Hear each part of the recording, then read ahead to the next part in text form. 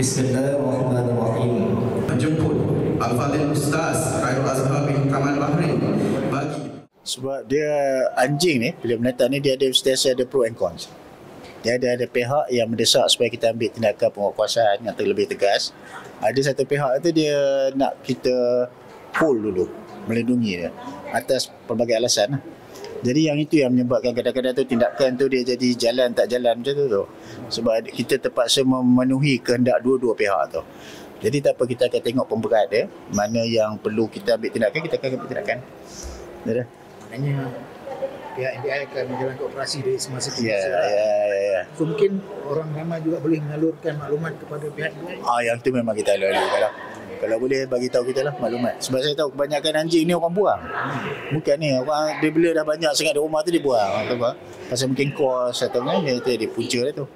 Okey, touch up.